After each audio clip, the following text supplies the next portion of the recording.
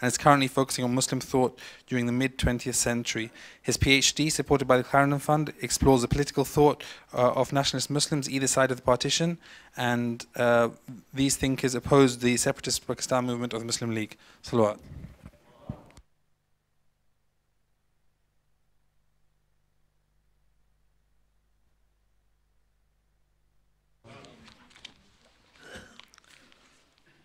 So, I, first of all, I'd like to thank uh, Miqdad for inviting me along today to speak to all of you.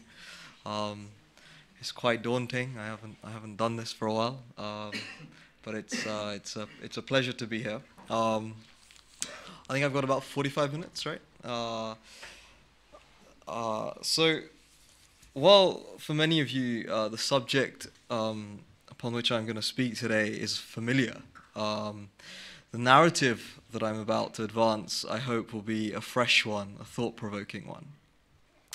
Um, I've tried to pack a lot into the next 45 minutes, so if I brush over certain things, please forgive me. We can always discuss them in the Q&A afterwards. Um, so, it's popularly believed that during the final decade of the British Raj in India, uh, the lawyer politician Muhammad Ali Jinnah imagined a partitioned India and in 1947 was granted his wish with the creation of Pakistan. In recent decades, however, historians have increasingly come to complicate that assumption.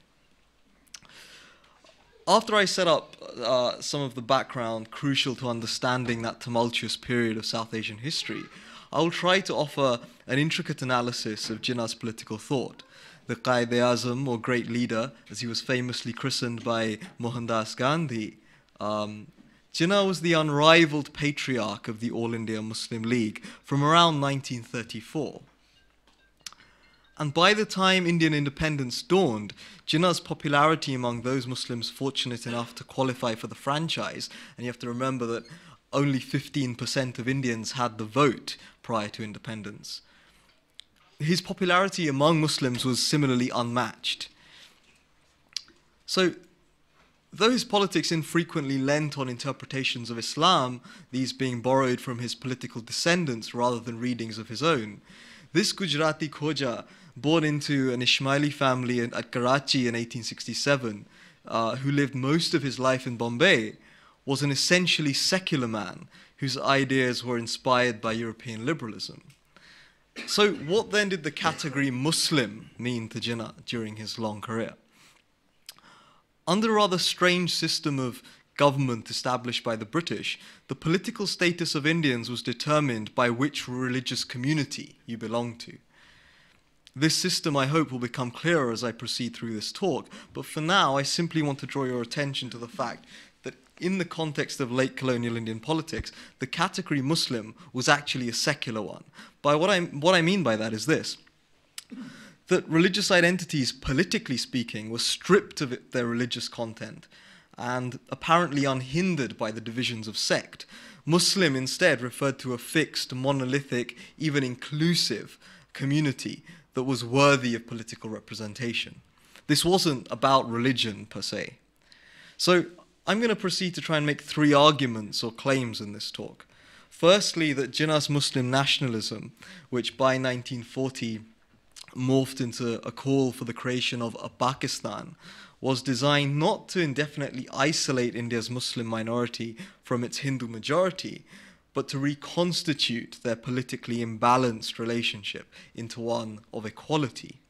The demand for Pakistan, strange though it may seem to you all, was not meant to contradict Jinnah's career long search for Hindu Muslim cooperation, as I'll try to explain. Secondly, and as a result of this, Jinnah's separatism never quite shut the door on what his political secretary once called his first love, the promise of an inclusive India. A man who ultimately despised sectarian bickering. It is no longer an outlandish claim, among historians at least, to claim with qualifications, I hope to do so, that the Qaid Azam possessed throughout his career his own idea of Indian unity. But it is my third claim which forces me to leave the rather provocative title of this talk as an anticlimactic question rather than a confident declaration. Uh, so when I, when I when I say, oh sorry, it's already. So so so when I say that um, this was was this the Indian Republic of Pakistan, um, I have to qualify what what I'm saying. Um, for while Jinnah had a very clear idea of what Pakistan might look like before independence and partition in 1947, after the creation of that sovereign state, Jinnah's vision for it was an extremely confused one. In short, his secular instincts came to be increasingly compromised by the pressure to turn this safe haven from which Indian Muslims were meant to partake in liberal democracy into an, an Islamic state. But before we get to that, let's start um, in colonial times. I'd like to begin um, by explaining the quite complicated political system within which Jinnah had to operate.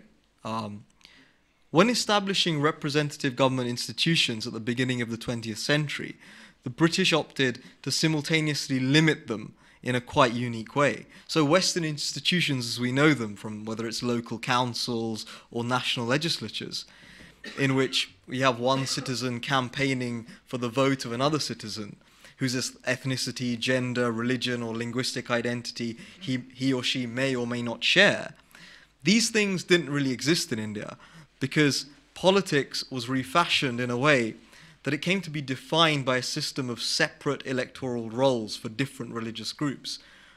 More simply, this meant Muslims could only vote for Muslim representatives and Hindu, Hindus for Hindu representatives, as the British state sought to eliminate the intrinsic individualism of representative government by effectively then elevating religious communities to the status of political constituencies. Why did this happen? Well, the convergence of three trends can be said to have provoked this development. Firstly, there was an ascent of religious reform organizations from the mid 19th century. These groups had been given almost a free rein to consolidate sectarian cleavages in India once their British rulers felt that their own interference within India's major religions, Hinduism and Islam, had triggered the 1857 rebellion that had briefly threatened to destroy the empire. And of course, many of you will know that you know during that famous rebellion, um, the, the, cartridges of the of the army soldiers had been apparently greased with cow and pork fat, and obviously the Indian soldiers were were, were, were, were deeply disturbed and rose up against against the British. So after that, the British decided, you know what, we're going to stay out of religion and basically um, allow them to do as they please. Secondly, and perhaps most crucially, the British also took the view that the religious community was India's main identifier. It, as, as Indians, as a people, British intellectuals believed, were defined principally by the religious community with which they were affiliated. Economic ties, as well as bonds of tribe or caste or biradari, which were uh, traditionally specific to certain regions but frequently interreligious in nature, had been dismissed in favor of imagining an India inhabited by mutually exclusive religious blocs. There were Muslims and there were Hindus, and then there were Christians and Parsis and Sikhs as well.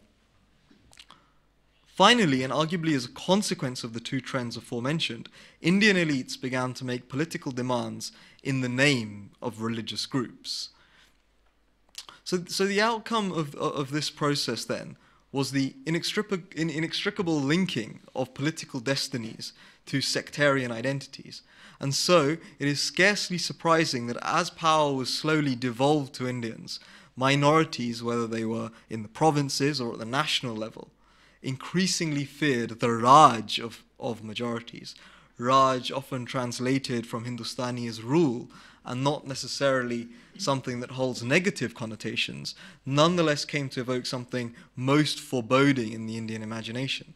Whether it Hindu, Muslim, or even British, Raj held the threat of brute force and persecution of a people and its culture in the minds of countless Indians. Its very point lay in its ability to experience power by ruling others, with an emphasis on the exercise of power, Raj was part of a zero sum game, if you will, cherished by its owners and feared by everybody else. I should add that historically, as, as you will know, Raj had meant the rule of the few.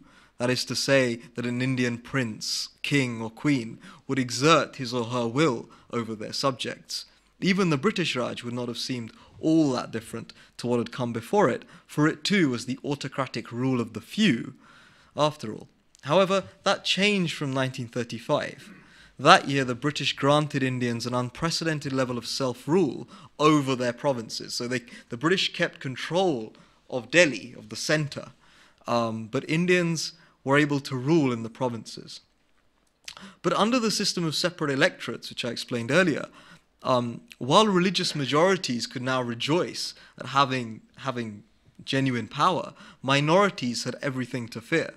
Through a strange confluence, then, of two phenomena one long history of authoritarian control, and then a representative political system which had traded in individualism for this kind of sectarian consolidation, India now began a quite a new chapter, if you will, um, in its lengthy association with, with Raj.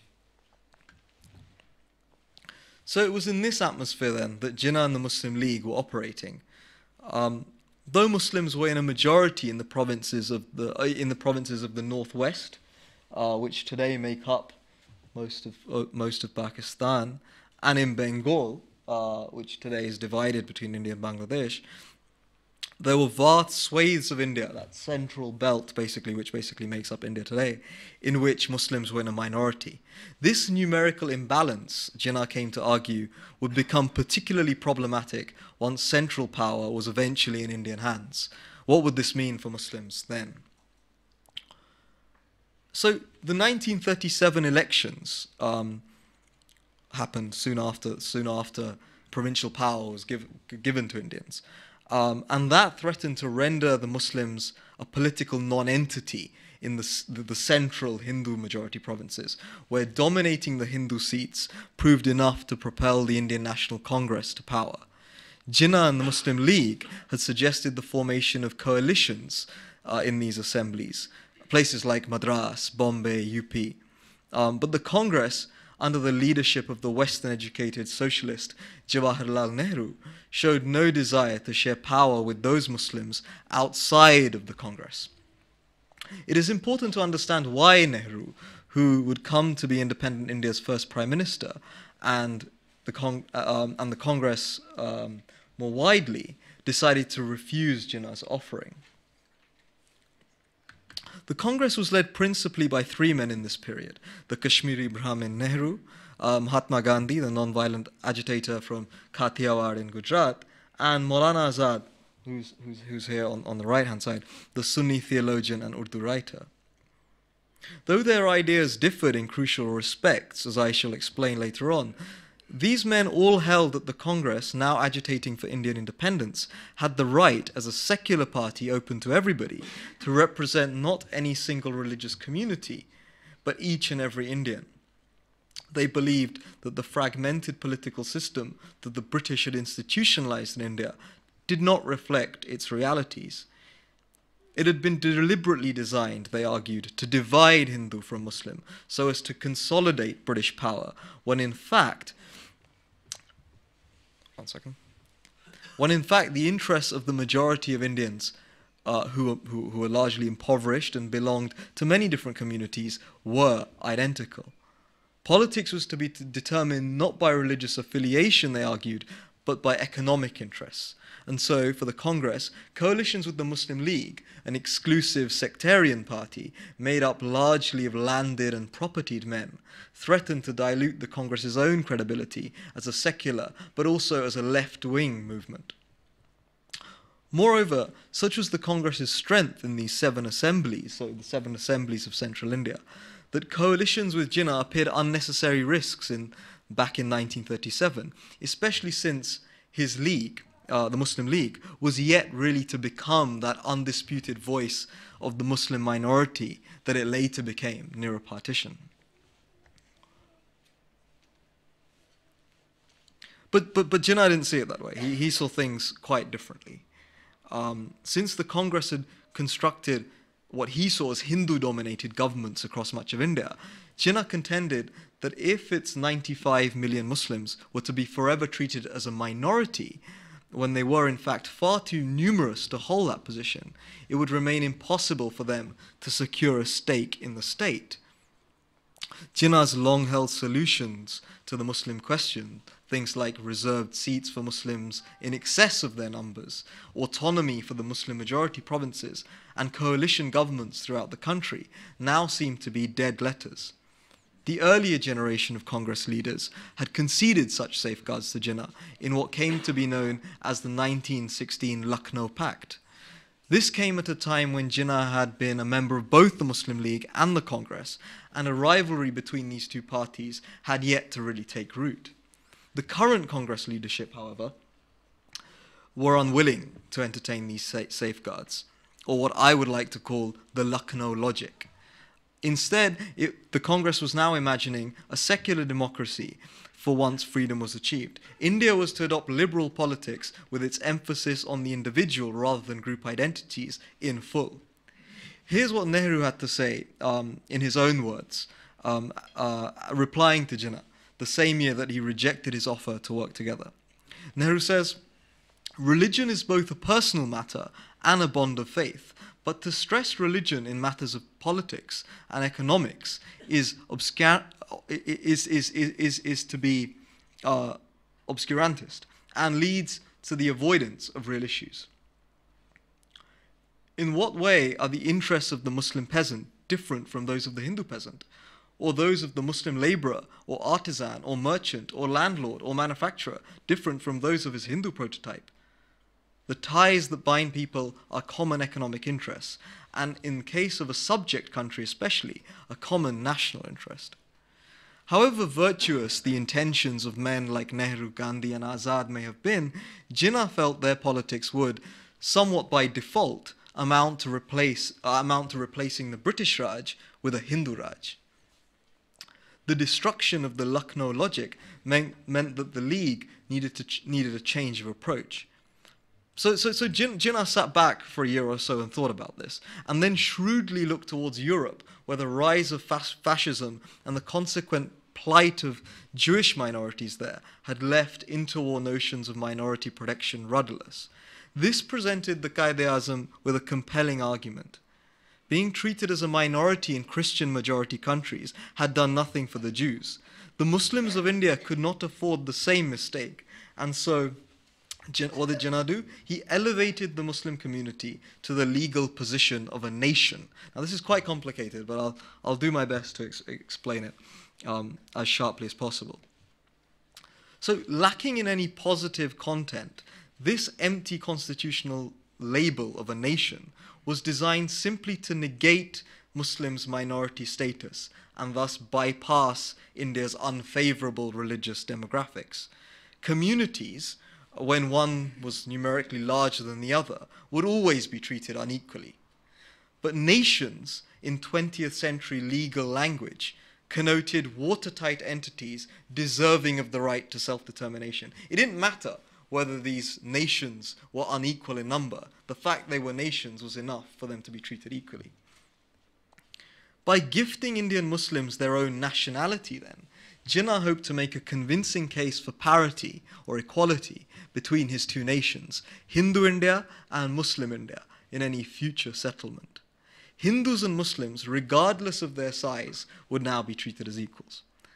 As Jinnah put it, with his customary degree of hyperbole in his famous Lahore Declaration of 1940, and this is what he says The problem of India is not of an intercommunal, but manifestly of an international character, and it must be treated as such. So long as this basic fundamental truth is not realized, any constitution that may be built will result in disaster and will prove destructive and harmful, not only to the Muslims, but to the British and the Hindus too. This passage is important for it signals why, when our discussions about Jinnah among both historians or laymen obsess over whether he wanted the partition or not, are actually quite misplaced the exact contours or shape of a constitutional solution were secondary to establishing the principle of nationality and therefore equality between both Hindus and Muslims. How that nationality was to be actuated or realized, whether through some kind of territorial division or a power sharing arrangement, or even both, was actually a secondary consideration. First, the British and the Congress had to accept the idea of parity. The best illustration of this came in 1944 when Gandhi visited Jinnah in Bombay for a series of highly publicized talks. Fruitless though these were, the explanation for their failure is nonetheless instructive. Unwilling to discuss the terms of a settlement, Jinnah, obsessed with, the, with establishing parity in India, instead insisted on Gandhi accepting the principle of Muslim nationality unsurprisingly refusing to reduce his ambitions to those of a Hindu leader and give up the Congress's claim to represent all Indians, the Mahatma declined to do so. Gandhi had been willing to discuss the division of India without the concession on principle, but Jinnah maintained that this would not be enough. This is what a rather perplexed Gandhi had to say of the affair in a letter to the Quaid-e-Azam. You keep on saying I should accept the, the, these theses, which you call the basis and fundamental principles of the Lahore resolution, or the Lahore speech that I, that I quoted earlier. While I have been contending that the best way for us who differ in our approach to the problem is to give body to the demand and as it stands in the resolution and work it out to our mutual satisfaction. And I cannot accept the Lahore resolution as you want me to, especially when you seek to introduce into it its other interpretations and theories and claims, which I cannot accept and which I cannot ever hope to induce India to accept. That the principle of parity remained paramount for Jinnah did not mean that he remained in the realms of this kind of abstraction and failed to produce any concrete constitutional solution of his own. Of course, he had to, because this was real politics after all, though he pre- pre- preferred not to talk of these kinds of solutions. Nonetheless, one emerged gradually through the early 1940s. What the Quaid came to propose was a confederation between two self governing, constitutionally equal states a Hindustan for the Hindu majority provinces, and a Pakistan for the Muslim majority provinces. These self governing states would then actually meet as equals at Delhi in order to legislate over a few subjects like defense, foreign affairs, and most significantly, the rights of minorities. Jinnah's logic was that once a powerful Pakistan was created, it would be able to strike a deal for the protection of Muslims residing in Hindustan, and vice versa. So Hindustan would be able to protect the Hindus left in Pakistan. Jinnah's reasoning was not entirely new. The League had long been searching for ways of doing away with the democratic categories of majority and minority. At the turn of the 20th century, Muslim elites in North India, imbued with, dare I say, an aristocratic sense of entitlement and offended at the possibility of being dominated by the Hindus whom they had historically ruled over. I'm talking about the Nawabs of Lucknow and people like that. Um, they, they rejected um, this idea of pure democracy and also started to call for parity. So much much earlier than Jinnah. League ideas of parity also stemmed from what these nobles of North India believed to be an Islamic conviction that numerical configurations were irrelevant to po- politics and that what mattered was the rigid ideological divide between Muslims and non Muslims. To some extent, Jinnah was contributing to this continued preoccupation of a so called Islamic politics, though I would still suggest that Jinnah's was a secular appropriation of a theological interpretation, an idea that could be manipulated for his liberal program. This wasn't a very religious man, after all. Beyond such abstraction, Leaguers had produced constitutional schemes of their own much before Jinnah posited his Indian confederation between Hindustan and Pakistan. As early as 1918, the Aga Khan of the Ismaili Muslims had envisaged an ambitious project to internationalize the Indian question. So, what he wanted was India to be at the center of a South Asiatic federation, which went all the way from Sri Lanka all the way up to Central Asia, Bukhara. And that would also stretch from Aden to Mesopotamia, uh, from Aden and Mesopotamia across all the way to Singapore. So, so he was envisaging this huge, massive multinational state in which there'd be numerous nationalities, numerous religions, um, and the provinces of, of, of this state would be very powerful, and therefore population ratios at some kind of center would just be irrelevant. Um, so, a quite crazy idea, but nonetheless an interesting one. But it was the poet philosopher Muhammad Iqbal, who, who's, who's up here on the screen, who presented the forerunner to Jinnah's designs, though Iqbal's very Islamic motivations were very different from the secular bent of the Qaid Azam. Calling for an amalgamated, fully autonomous Muslim province in northwestern India at the Muslim League's Allahabad session in 1930, Iqbal sought to give shape to his view that the church and state in Islam were organic. Simply put, he was arguing that the ethical ideal of Islam was inseparable from its political system. For Iqbal, the survival of Islam as a cultural force in India was dependent on such centralization of it in a specified territory. This, he felt, would finally allow it to mobilize its laws, education, and culture in India as it, as it attempted to reconcile its own original spirit with this evolving liberal modernity. But that was not all. Iqbal posited, as Jinnah did a decade later, that this would finally allow both Hindus and Muslims to safeguard their weaker co religionists and sacred sites beyond sorry, their political uh, strongholds.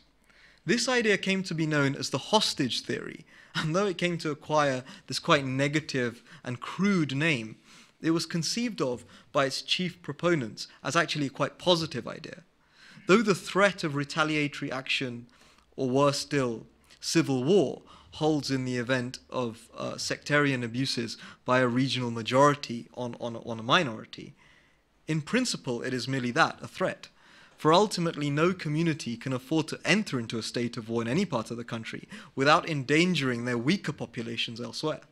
And so Iqbal and his heirs, Jinnah, were keen to stress that this truce, enabled by a kind of Hindu Muslim power of, uh, balance of power or equilibrium, was guaranteed to bring lasting security and peace to India.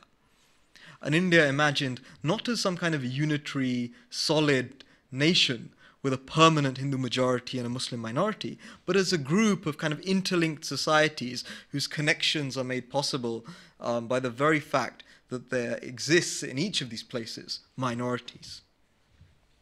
Jinnah's attempt at establishing parity in India then was a continuation of a lingering project among Muslims to resist what they thought was the juggernaut of Congress majoritarianism. So, if the Muslim League separatism did not quite translate into a clear cut demand for a partitioned India, how did one come about in 1947? I will now try to answer that question by recounting some of the most critical political mo- moments of the final years of, of the Raj.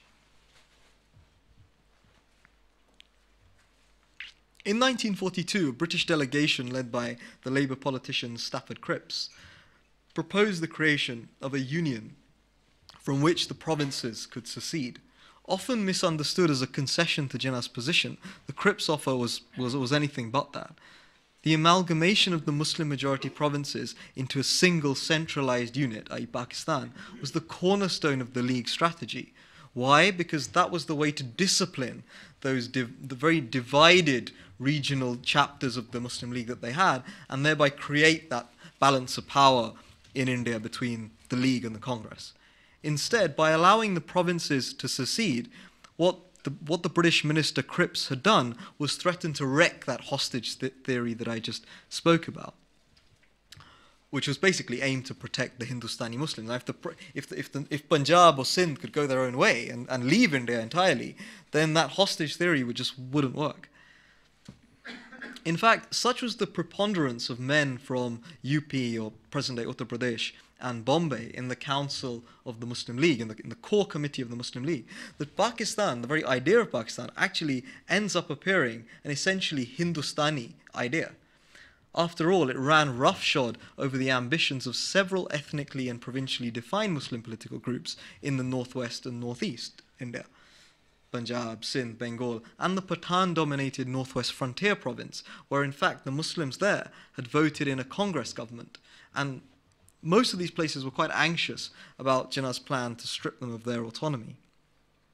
Fortuitously for the League, the more influential Congress scuppered uh, the Cripps scheme, uh, and that was the end of it. Uh, Gandhi, Nehru, and Azad were angered by Britain's unwillingness to immediately hand military policy, uh, let alone independence, over to India um, before the conclusion of the ongoing Second World War. So after the war, um, another delegation of, of, British ministers arrived in India, again led by this guy called Cripps, um, and it visited in 1946. And now it was tasked with finally decolon- de- decolonizing India in consultation with her leaders. This delegation came to be known as the Cabinet Mission. Um, during the preceding provincial elections in January, the League dominated the Muslim constituencies like never before excluding the Northwest Frontier Province, where the Congress um, remained in power. Um, a better organized league buried the memories of 1937, where it, where it didn't win many seats, and established ministries in Sindh and Bengal. With an, with an enviable mandate among Muslims, Jinnah's call for parity and his, also his other call for a loose union between Pakistan and Hindustan could now scarcely be ignored. The Congress, meanwhile, was led by Maulana Azad during these negotiations, who had recently um, completed six years uh, as its president. It is worth dwelling momentarily on Azad here, for whom the Indian nation, um, which he believed was the common achievement of Hindus and Muslims, um, he saw he saw the Indian nation as a kind of organic product of of India's history. India's nationhood Maulana Azad contended, sprung from the fusion that took place once the culture of the Muslims, what he called the final caravan to descend on India, was joined together in confluence or in sangam, to use, to use, the, to use the Hindustani word that he, he uses, with the Hindu traditions that it found on arrival likening the creation of India's syncretic nationality to the customary image of the separate courses of the Ganges and the Yamuna ultimately attaining union in Allahabad, Azad's India is one of natural, fated mixture. Over a millennium of common history had produced what he called a new synthesis in language and literature, as well as our manners and customs. To now disown this mutual achievement and call for legal parity, as Jinnah had, between two apparently separate communities betrayed both historical ignorance and cowardice. Parity was already the very essence of Indian nationality, and thus it, along with the, the, very strength of the Muslims, the fact that they numbered 95 million in the country, emerged, according to Azad, as organic safeguards for this numerically fewer but indispensable community. Indeed, Jinnah, according to Azad, was attempting to reinvent the wheel by first erroneously recasting India's community in the mold of hollow, fabricated nations, and then seeking their reunification in a, in a, social, in a social contract, or um, in a new deal, as it were.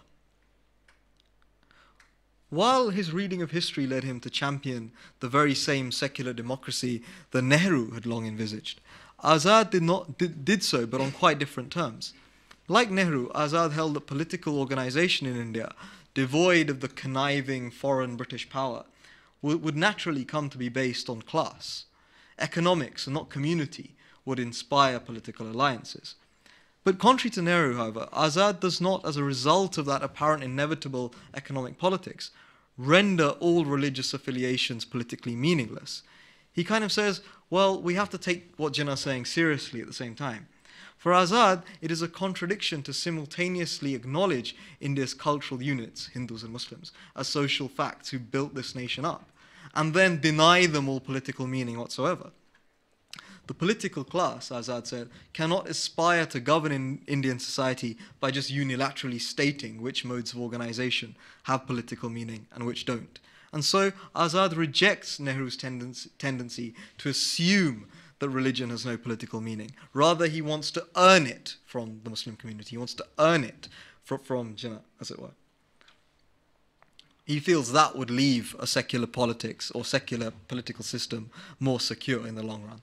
So for Azad, then, um, Muslims do have the right to voice their apprehensions, however delusional he himself felt they were. And of course, you know, he, he was a great uh, Sunni theologian himself. Um, But he felt this because precisely because he felt the Muslims were crucial to the creation of India in the first place. It is only once these apprehensions were satisfied, he felt, that India could move in the direction that it really wanted to. The Muslim separatists had to be given their political due, even if only temporarily. It is this logic, then, which led Azad, in an extraordinary manifestation of this trust in the shared nation, to propose a kind of federal alternative uh, to the very centralized Indian state that, that, that, that Nehru was, was imagining. Um, and, and, and, and it's that which basically allows, um, allows the cabinet mission that, that had come over from Britain to strike an agreement between the two parties. They proposed this, this new plan to, to Azad and Jinnah, um, which basically is this. There would be an Indian Union legislature in Delhi, um, uh, which would be restricted to defense, foreign affairs, and communications. Communications entailed things like railway construction, telegraph construction, but that's it. The Congress would rule, more or less, at Delhi by virtue of its sheer size. But at the intermediate level, there would be three groups of provinces, with Jinnah's Pakistan divided between a northwestern group B, which you can see here in yellow, um, and a northeastern group C, which is in red. Azad, so, so basically what you were doing was, was, was giving a kind of, a, a version of Pakistan to, to, to Jinnah. Azad accepted the scheme, but so too did Jinnah. The Qaid Azam concluded that though this was not quite parity, it was a good enough compromise, perhaps accepting in the process that a minority in any representative political system could not possibly have its cake and eat it too. But when Nehru replaced Azad as president of the Congress in July 1946, he threatened to undo this tentative agreement. For Nehru, this unwieldy federation um, that, that, we just saw on the screen, with a limited central government unable to really exercise much control over the Muslim majority areas, imperiled national cohesion and thereby threatened what Nehru believed was the very rationale of a modern state unitary, secular, and socialist, as it was in Nehru's imagination. Free India, Nehru felt, had to be unhindered by these obsolete religious divisions and operate in a more synchronized fashion if it was to achieve meaningful progress. Its parts all had to work together for the benefit of the whole, like, like a good car should, as it were. With their hopes of an acceptable settlement deteriorating, the League launched what was called its Direct Action Campaign in search of some kind of Pakistan. This led to unprecedented, and it should be added, unintended levels of Hindu Muslim rioting in Calcutta, and violence soon spread across the country. By early 1947, this tense atmosphere, along with the Nehruvian idea of the modern state, having engulfed much of the Congress to such an extent that they were even willing to forego Indian unity if the League insisted on what Nehru called medievalism, meant that partition was now on the table. Lord Mountbatten had come over from Britain and was suggesting partition uh, to the Indian leaders. By now, the new Labour government, ideologically opposed to imperialism and impatient to reduce its costs after the Second World War, had crippled its finances was now impatient, really, to, to find a solution. The Congress, too, was eager to usher in independence, and so, with the League Cadre bellowing for Pakistan, whatever that in fact was said to mean, Jinnah was obliged to leave scores of Muslims behind in divided India and accept full blown partition as an imperfect but honorable compromise. Jinnah's strategy had long been premised on ultimately turning away from separatism once the Congress had conceded something close to parity, to make, as it were, the Indian Republic of Pakistan. Simultaneously, however, he took the view that the only way to ultimately exit religious politics and evolve a liberal democratic India was to have it made up of two parts. Otherwise, one community would inevitably dominate the other one. What Jinnah was essentially anticipating was a moment when he could reappropriate his Indian nationalism. That was possible precisely because of the nature of his Muslim nation that we talked about earlier, which is inherently negative and legalistic. It was designed not to produce some kind of new narrative of history and culture for Indian Muslims and all that content that is, goes into what national belonging means. He wasn't interested in that. All he tried to do was to establish equality with the Hindu majority. Of course, what Jinnah, unlike Azad, did not account for was that such politics had the power to embitter Hindu Muslim relations. For the Qaid-e-Azam to take a chance on Indian elites simply engineering this quite complicated process without much trouble at all was an incredible, if not naive, risk. For Jinnah and his close circle, nationalism as sentiment then and nationality as a constitutional category were two completely different things. In 1939, two years after giving the Muslims the status of a nation, Jinnah tellingly remarked at Hyderabad, he said, the words nationalism and nationalist have undergone many changes in their definition and significance. Some people have a dictionary of their own, but within the honest meaning of the term, I still remain a nationalist. Jinnah had long envisaged that ultimately patriotic congressmen, unable to preside over Mother India's vivisection, would grant him something resembling parity. In truth, he grossly miscalculated. So, if partition represented the demise of Jinnah's own version of Indian unity, then by anointing the, their, their own dominion, the Union of India, the Congress put the final nail in Jinnah's coffin, as it were. By appropriating the word India, the Congress destroyed the possibility of keeping a unionist vocabulary intact. While Jinnah's own terms, the ones he used, Hindustan and Pakistan, meant that you could find a meeting point in some kind of neutral Indian vocabulary. It is rather impossible for Indians and Pakistanis to similarly come together on an even footing. Rather, any sort of reunification, and both parties did contemplate it during the early stages of independence, would automatically connote Congress assimilation. As Nehru commented some years later, he had felt that Pakistan, realizing the mistake it had committed by, note, seceding, was bound to come back to us. So that in itself uh, is interesting. It is this attitude which must have vexed Jinnah, for it not only den- denied his idea of creating the subcontinent in a new way, but underscored his failure to force the Congress to do away with its superiority complex and treat the League as its equal rather than its deviant younger brother.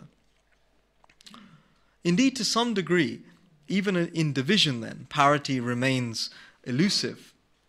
India, the Congress was implying, did not need Pakistan in order to exist. And so, once India had been divided, for Jinnah, reunification becomes intellectually impossible, for the language of union has been lost. By stripping away its right to remain Indian, the established modern descriptor for everything subcontinental, or what was the established um, modern descriptor, the Congress had made its most powerful attempt at forever othering Pakistan. What then did Jinnah, in, his final, in the final year of his life, before he finally succumbed to lung cancer, make of Pakistan? There is a whole body of material, speeches, statements, and testimonies of his contemporaries that suggest what Jinnah did, um, in fact, envisage for the new state was what you know I, have called the Indian Republic of Pakistan in, in the title believing that not only he and the Muslim League had held true to the original ideas of what an inclusive nationalism ought to be, uh, Jinnah seems to have created some kind of new project for himself after 1947 to turn this new state into some kind of prototype, um, epitome of secular democracy neither tolerating provincialism nor allowing religion to influence the workings of the state, Jinnah's ideal respected the religious freedoms of all its citizens, whether they Muslim or Hindu. Indeed, it is no coincidence that this was the very kind of state the Nehru imagined for India too. Though Jinnah, of course, replaced Nehru's socialism with his Gujarati um, you know, Gujarati feeling for you know, free enterprise and property. Um, Citing the example of Great Brit- Britain, Jinnah made his views clear to the Pakistan Constituent Assembly on 11th of August 1947, and this is what, what Jinnah had to say. Today, you might, you might say with justice that the Roman Catholics and the Protestants of England do not exist. What exists now is that every man is a citizen, an equal state of Great Britain, and they are all members of the nation. Now I think we should keep that in front of us as our ideal, and you will find that in the course of times, Hindus would cease to be Hindus and Muslims would cease to be Muslims. Not in a religious sense, because that is the personal faith of every individual, but in the political sense, as citizens of the state. And yet, these pronouncements, this ideal, was an incredibly fragile one. Though he promised to be the champion of Pakistan's minorities, he was forced to consider whether the country could survive without further Muslim consolidation.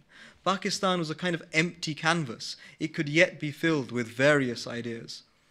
And with a more fervent section of the Sunni ulema eager to seize the state for its own purposes, Jinnah, after all, had to cling on to the constituency that had propelled him to the apex of politics in the first place. That constituency was ultimately a Muslim coalition of both Shias and Sunnis of all hues, and thus, considering his opposition, Jinnah perhaps calculated that he too needed to consider the implementation of the Shariat and how a Muslim identity might be converted into a Pakistani one.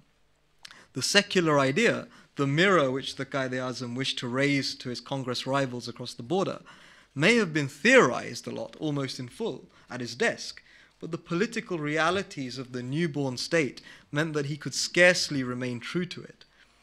This some may read as the tragedy of Jinnah, but one could equally conclude that for a leader who championed the cause of a minority in the age that we live in of majoritarian democracies, this was a tangle in which the Qaid-e-Azam was to be inevitably snared. For ultimately, it was less inclusive or ecumenical and more major- uh, a more majoritarian vision of Pakistan, one whose idea was conservative Sunnism ultimately, that has finally triumphed there. As the military dictator Zia-ul Haq, who ruled the country for 11 years from 1977, once put it, Pakistan is like Israel, an ideological state. Take out the Judaism from Israel, and it will fall like a house of cards. Take Islam out of Pakistan and make it a secular state, it would collapse. So, at partition, Jinnah consoled himself with the fact that since the Hindu Muslim question had been settled, even if unsatisfactorily, Indians and Pakistanis could leave religious politics aside and finally establish an interest based politics on the subcontinent. Of course, Jinnah's view has proven to be a mistaken one. Majoritarian nation states have not given rise to a politics rid of sectarianism at all, and, mar- and, and, which, and, and a politics which is instead marked solely by economics. Instead, Hindu nationalism is better placed than ever before to tear down Congress secularism in India and capture the state ideology, while in Pakistan, its Sunni counterpart has already done so. Many political parties claim the legacy of Jinnah's Muslim League in Pakistan today. However, very few even attempt to embody its inclusive idea of a national community that happens to be dominated by its Muslim majority. With political Sunniism having entrenched itself there, it is unlikely that an honest return to Jinnah's politics will ever be possible. That being said, this story that I've narrated this evening to you, this reinterpretation of Jinnah's quite complex later career, is one that I believe that can yet be useful for a South Asian future. Why? Because for too long, the legacy of Jinnah, as it has been popularly known, has strangely epitomized the fraught relationship between India and Pakistan. But perhaps the Qaid-e-Azam is not as polarizing a figure as we may have first thought. Perhaps he is neither the Pakistani savior that freed the Muslims from Hindu tyranny, nor the Indian coward who divided the country on false grounds. Somewhere in between these two very simplistic narratives lies a truth, which once appreciated may yet convert the Qaeda from a figure of South Asian antagonism into one of constructive camaraderie. Thank you.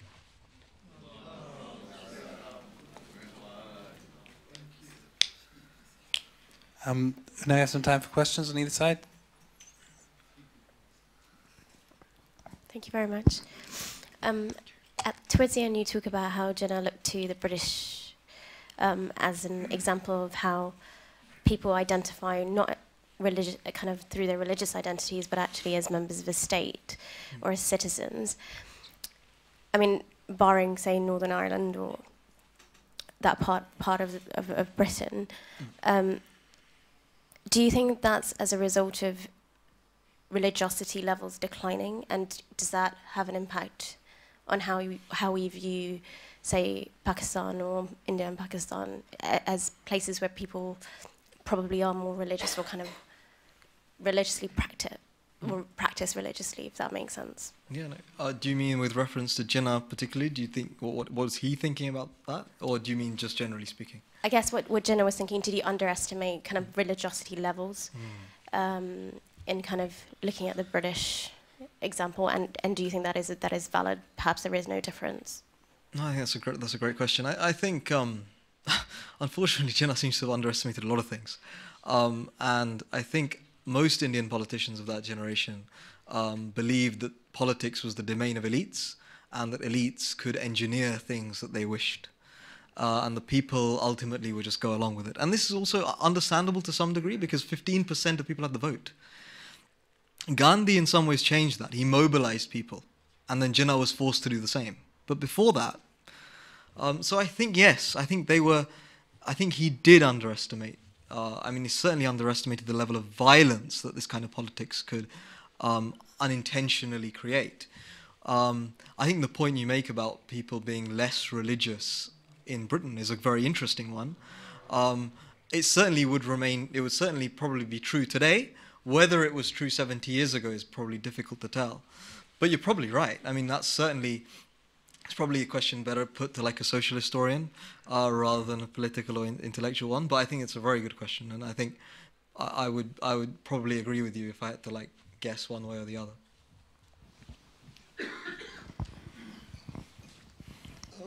I'm just uh, wondering the Jinnah's idea of the uh, nation. Uh, it reminds me of uh, Act of Union in Scotland nation, Wales nation, British nation used to be sort of thing.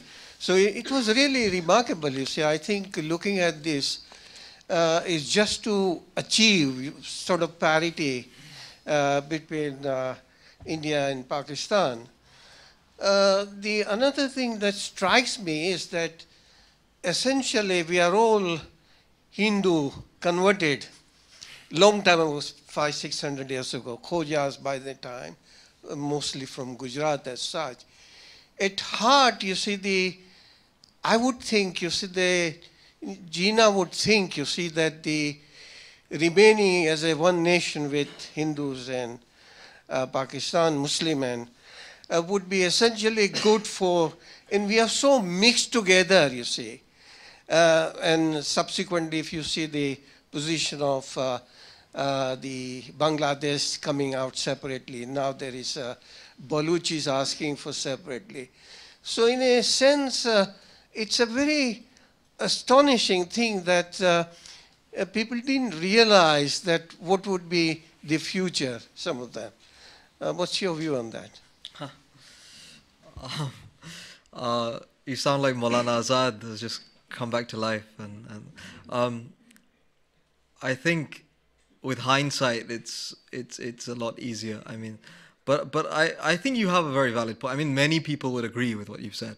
Um, in fact, maybe most people would agree with you now that it's happened. Um, but I think at the time, Jinnah's consideration was that um, we have seen what's happened in Europe. I think that I mean I only mentioned it in a sentence or two, but what happens in Germany with the Jews um, is something which scares him. It, it, I mean, he doesn't necessarily for one minute think that Gandhi and Nehru are going to do that. He has a lot of respect for them, but he who knows, you know, if Narendra Modi is around the corner. Um, well, well, well, well, exactly, right? So I think the point is that Jinnah had his own idea of Indian uh, unity. And that's why I call it, in a provocative way, you know, I, I titled it Indian Republic of Pakistan. Um, but I think, I mean, all these questions remind me of Maulana Azad because Maulana Azad famously predicted that Bangladesh would eventually be created. He said, you can't unite these two sides of the country. They're nothing in common with each other apart from being Muslim and Islam historically, although he is of course a theologian, he is a Maulana, and he says, well, you can't unite people on Islam only politically. It has there has to be something else, and ultimately he was he was proved to be correct. Culturally, you see, the uh, Bangladeshis a Hindu. By faith, you see, Muslim. So as in Indonesia, if you look at this, uh, uh, or Malaysia, you see, uh, Singapore. So in that way, it looks like it's difficult to. Uh, I mean, uh, uh, Allama Iqbal mentioned cultural nationalism. Now, that is it possible to have a cultural nationalism? Uh, you mean a cultural nationalism for for whom? For Muslim? For Muslims. Um, when I think when Iqbal talks about nationalism, he doesn't mean it in the in the kind of conventional sense that there's a nation state, there's a there's a country and it has a nationalism. When he talked about mus- Muslim nationalism, he meant kind of an identity for the ummah beyond India as well as within India. He doesn't believe in the like old land worshipping ideology, Yeah, which which is the main. exactly. Yeah. Yeah. Sorry if you allow me. My No, of impression uh, listening to your very interesting uh, presentation is that you have a very sort of disapproving tone about the role of Jinnah, and I'm curious as to why. And also, you, you, uh, your analysis assumes that uh, look at the Jinnah's role um, in the period that you specified. That that uh, is uh, should define the future, ongoing basis. It didn't do in the in the, in the case of Gandhi or other leaders. Civilization does not stay static. Political setups do not stay static. They move on and so on. And so, so to draw this sort of conclusion, like uh, the gentleman said that uh, maybe you, uh, that um, Maulana Azad predicted that Bangladesh uh, will be created or Bengal will go separate. Did he also predict that India will make it happen? You know, so there's not just one simplistic No, no, internal no. reasons. There's also other complex factors that you have to take into account.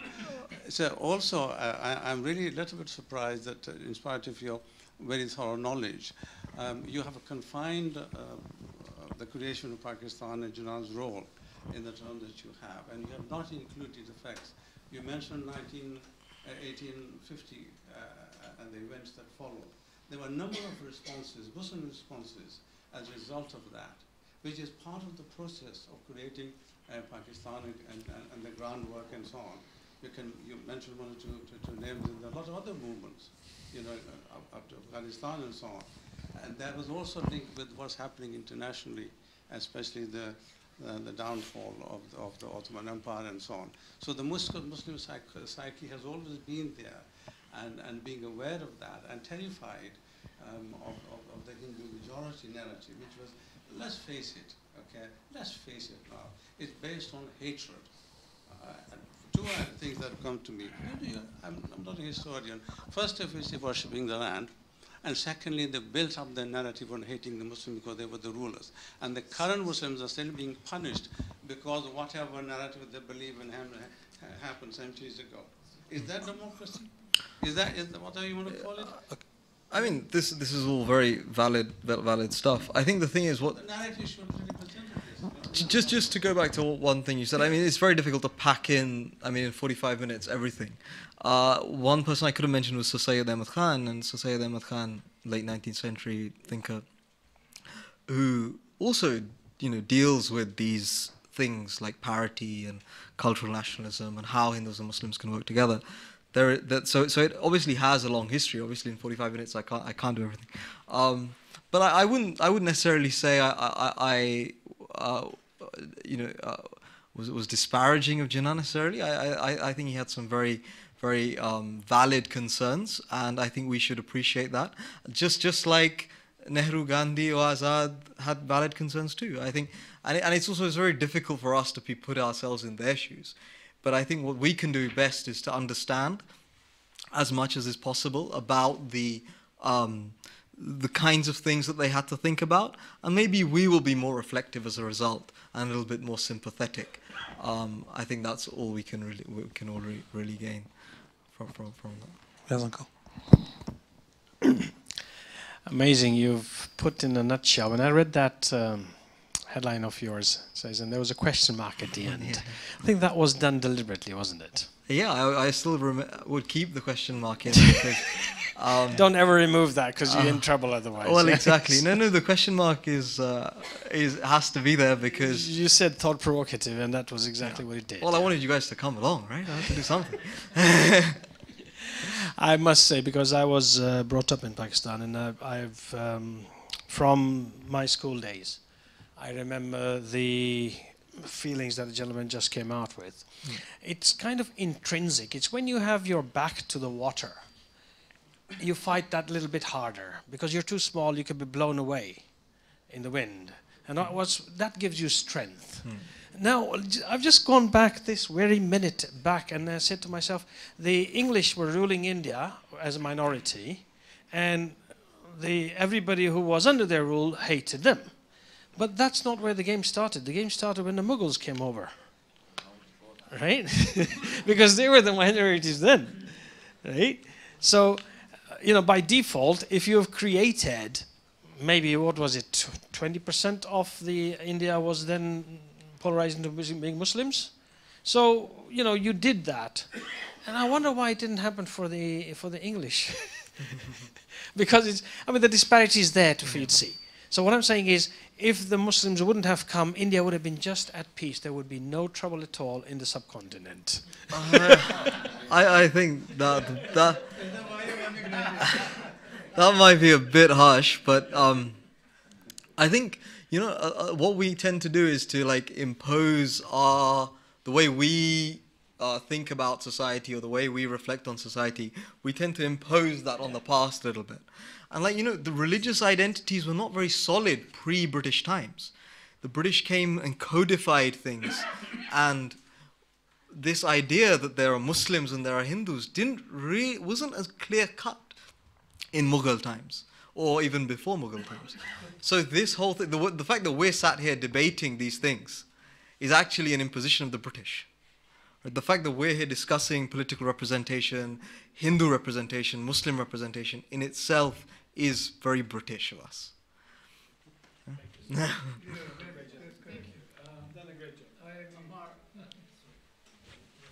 Thank you very much for your lovely lecture. But what happened to your beautiful video that you had uh, set up for your doctorate? How come we haven't seen it today? Uh, yeah, I, I, I spoke to Mikdad about it. So I, I, I made a documentary um, on Jinnah and Azad. It's a comparison, and I interviewed four professors um, in, in Oxford and Cambridge, and, and we, we produced this film. right. Um, uh, which, which, which, which, which, we, which we, we toured around the country, and, and I took it. I took it to Delhi, in fact. Um, so yeah, perhaps uh, one day soon you guys can have that, Thank or you. I can send it on to when, when it's. It'll be going.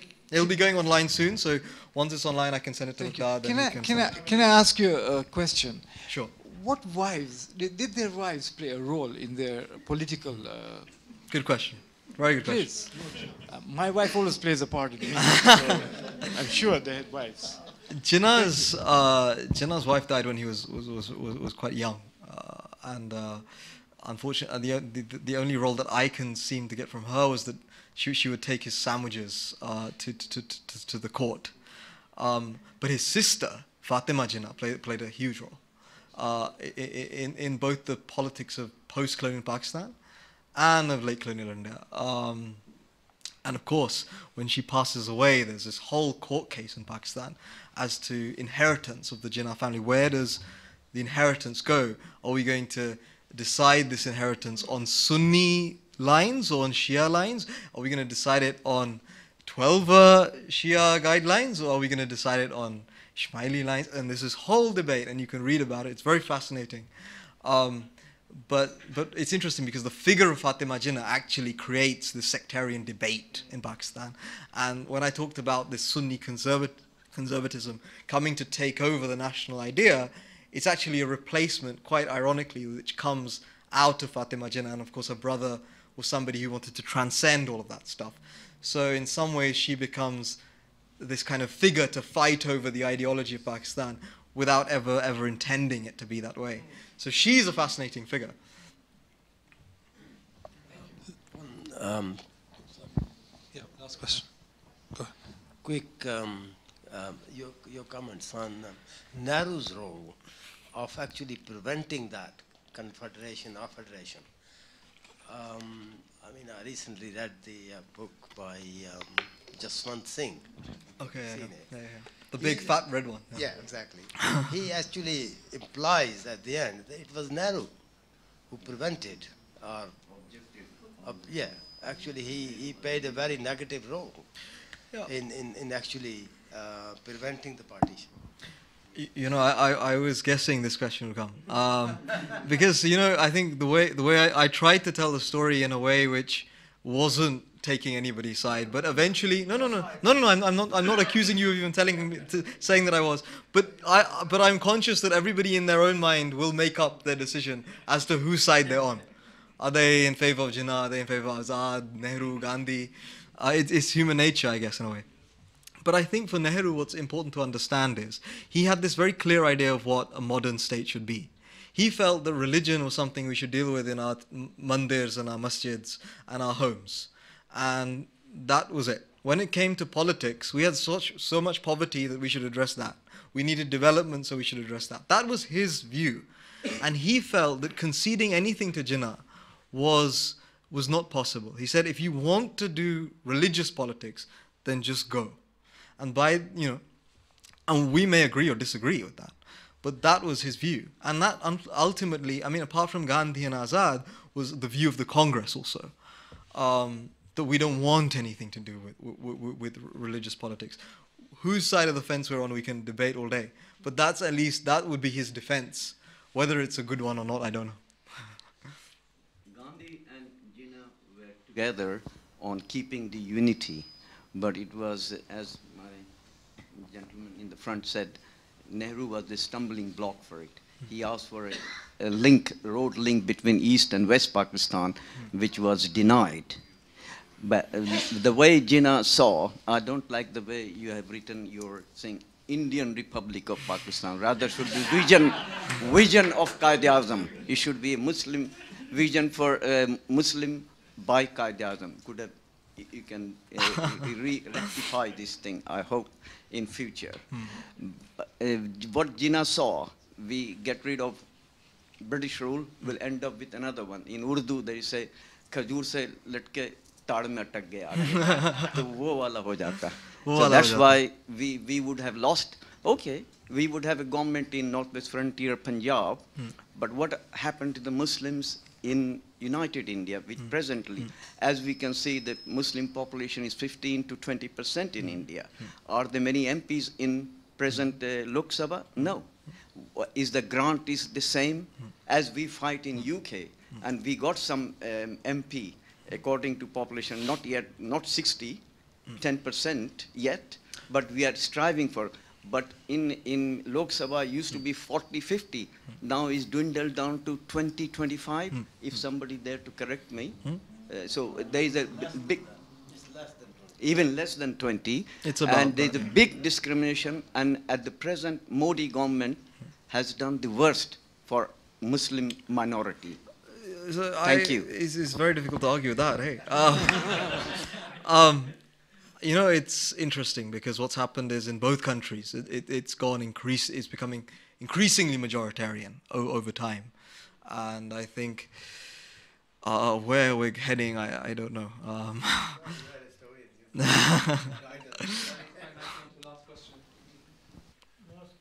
This is a very hindsight question. I know we can all be millennials. Do you think hindsight, was this a, a good idea to separate India and Pakistan in your, in your study or in your research? as a historian, uh, professionally speaking, I shouldn't be answering that question. Um, uh, however, I think you know uh, whether partition happened or not. I don't think actually really mattered that much. It's the way that we govern those states or one state, whether it be sing- one state or two states or three states as it is now. Uh, how we actually govern those. And that's where we should be looking, you know, to go back and say, oh, you know, it would have been wonderful. You know, there's no point. There's actually no point anymore. We've got, a, there, there are plenty of issues in both countries. Uh, the Kashmir issue we haven't even dis- even hasn't even cropped up today, which is a, which is the huge stumbling block between the two countries. So it's a good question, um, but I we, we we don't know. In a parallel universe, maybe there's a united country somewhere, and, it, and it's wonderful. Who knows? Or maybe it's a complete mess. You know. Um, So, uh, I'm sorry, I, I don't. okay, uh, thank you very much. Um, there are a couple of questions uh, left, but hopefully they can just come and ask you straight away directly. Um, so let's uh, end with salawat ala Muhammad wa ala Muhammad. Uh, brothers, just to let you know that um, the general programs that we have on a weekly basis are all on hold until